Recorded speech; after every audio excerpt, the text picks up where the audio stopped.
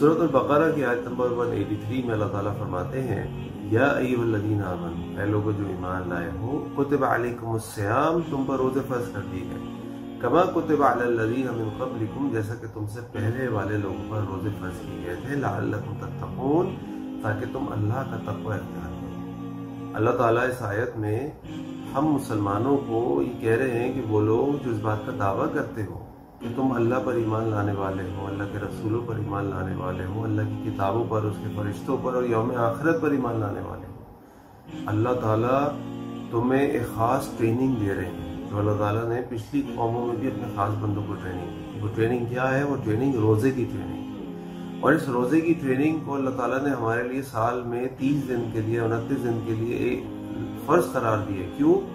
ताकि सारा साल जो हमारे ऊपर जंग आ जाए, जो हमारे अंदर वीकनेसेस आ जाए, वो ख़त्म हो जाए। और ये ट्रेनिंग क्यों है? ये ट्रेनिंग इसलिए है कि हम वो लोग हैं, जिनको अल्लाह ताला ने दुनिया में पैदा किया ताकि हम दुनिया के और लोगों को लीड करें, उनको गाइड करें। इसलिए अल्लाह ताला ने एक और मकाम पर फरमाया कुल तुम खैरा उम्मत है तुम बेहतरीन उम्मत हो। उखरजत नास तुम लोगों के लिए निकाले गए हो। तमरून बिलमारूफ ताकि तुम अच्छाइयों का हुक्म दो। व तनहाउन अनिल मुनकर और तुम बुरे कामों से लोगों को रोको।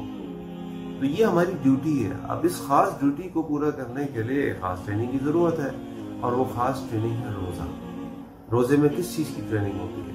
रोज़े में इस चीज़ की ट्रेनिंग होती है इंसान बावजूद इसके कि उसके सामने खाना रखा है, उसके सामने पानी रखा है, उसके सामने दूसरी हलाल चीज़ें रखी हुई है, लेकिन वो उनको हाल ही नहीं लगा तो इंसान हराम चीज़ों को तो छोड़ दीजिए, हलाल चीज़ों से एक महीने के लिए फजर के टाइम से लेकर मगरब तक अपने आप को रोके रखता है। ये ट्रेनिंग है।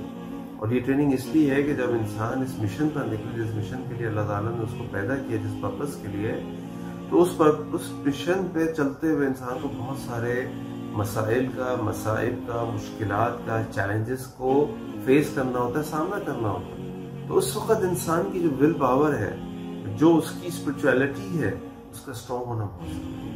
क्योंकि जब आप चल रहे होते हैं, फिर रहे होते हैं, सफ़र कर रहे होते हैं तो बहुत सारी चीज़ें होती हैं जो आपको डिस्ट्रैक्ट कर देती हैं, जो आपको परेशान कर देती हैं, जो आपको अपना काम छोड़ने में मजबूर कर देती हैं। लेकिन अगर इंसान की ट्रेनिंग अच्छी है तो फिर इंसान अपने ट्रैक से नहीं हटता री ट्रैक नहीं होता, बल्कि वो फोकस होता है उस चीज़ के ऊपर, जिस काम के पर, के लिए वो निकला हुआ होता है।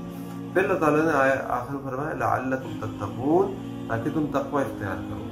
ये तकवा ही एक्चुअली इस ट्रेनिंग की जो है, वो स्पिरिट है बॉटम लाइन ट्रेनिंग दी जा रही है। इस ट्रेनिंग पर अच्छी तरह अमल करो और याद रखो कि ये रोजा सिर्फ़ अपने भूख और प्यास को छोड़ देने का नाम नहीं है। क्योंकि अल्लाह के नबी सल्लल्लाहु अलैहि वसल्लम फरमाया कि जो बुरी बात कहना और उस पर अमल करना ना छोड़े, अल्लाह ताला को इस चीज़ की कोई ज़रूरत नहीं है कि वो अपना खाना पीना छोड़।